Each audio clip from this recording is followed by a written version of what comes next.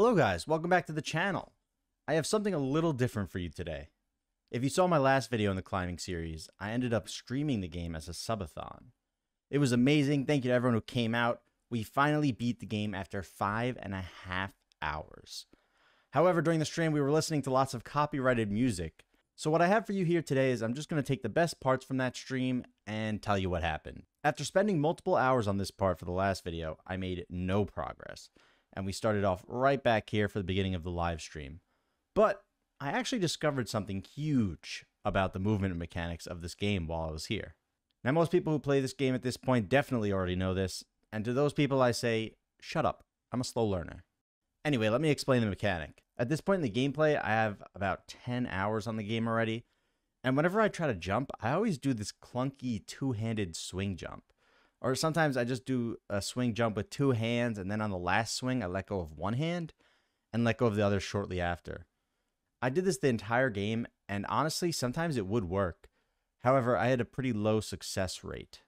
At the time, it was the only effective way I could figure out how to make jumps. Now, at some point during this part, I figured out a better way to do these long distance jumps. I'm not sure if there's a name for this, but we can call it the arc jump. How it works is pretty simple. You want to swing slightly away from the direction you're jumping. In this case, you want to swing left. Intuitively, you might want to get some big swings going for lots of momentum, but I found this jump works best with a very slight swing in the opposite direction. Now, after you swing left, you want to move your mouse up and to the right. This gives you the optimal height and speed to make long distance jumps in this game. This also gives way more control than just swinging left to right and trying to time the release. This might be obvious to some, it wasn't to me. Maybe it can help someone out who's watching and trying to beat the game still. Now, this wheel part was crazy at first, and I missed it so many times. I only used the double arm swing jump for this part. But this lamp part right after basically forces you to learn the one armed method. And after a few attempts, I finally got it. Oh my god! Ah! Ah! Ah! No! But then it finally clicked for me. Instead of like doing this weird two-handed swing, if you just do that one-handed move, I think it's kind of better. It's like a like that, see? That's like way better. We do it for this part though. You can do it for this part. Literally the first time trying this better jump method, I got it. And just like that, we got past the part I had been stuck on for two and a half hours. Now this next part was pretty easy, just a bit of normal climbing. The only thing to note was that these blue mushrooms on the rocks were really slippery, but it really wasn't a big deal. No! But seriously, with this arc jump method, this part was a breeze to do again. Got it first try again, actually. For this mushroom part, if you could just jump past the shrooms and grab a rocky part, you should have this jump. Now for this part, you just want to take a leap of faith and you'll be at the next checkpoint. And now here we are at this part. I still have nightmares about it. This is the final checkpoint of the game, and the last stretch is the final part. I spent almost five hours on this part alone. Five freaking hours. There's so many difficult parts here, and almost all are unforgiving and bring you back to the checkpoint.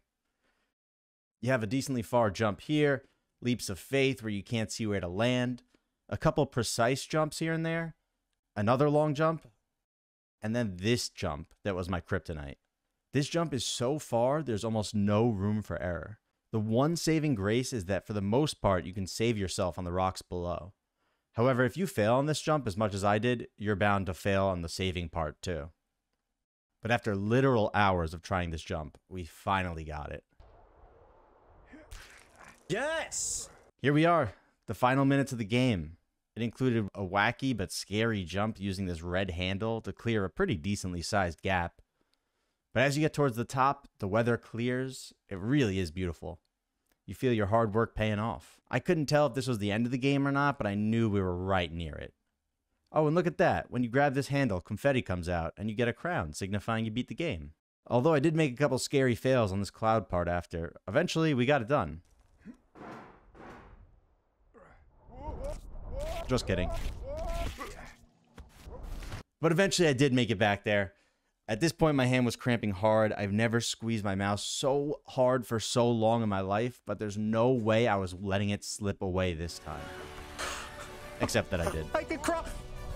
This was not for the lulls. This is not for the content. I was exhausted. My hands hurt. I just wanted to be out of this game. And at the very end, on a literal ladder that no one should ever fail on, I fell. Luckily, this time, by the power of God, anime, and most importantly, the Black Eyed Peas, we made it. To. Come on, come on, come on. Come on, guys.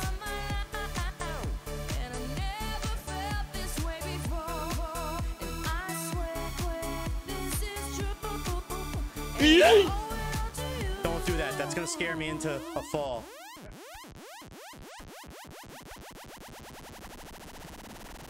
Dirty bitch. on, you dirty bitch. Come on, you dirty bitch. Give me that. Give me that. We're out of the dome. We're out of the dome. We can't grab the words. Guys, what? What do I do? Do we just try to fall on top of this dome and escape? You gotta climb the credits? Oh, you can climb the. I thought I couldn't grab it before. Special thanks to Bennett Foddy for inspiring this game. Thank you for everyone for inspiring me. To my endlessly supportive wife, Vivian. Aw, that's so cute. Without whom this game would not exist. And thank you for your suffering. Anytime. Remember, to live is to suffer. To survive is to find some meaning in the suffering. Oh, baby, it's true. Oh, baby, it's true. Oh my God. Thank you all for coming on this journey with me. Hey, we're back at the start.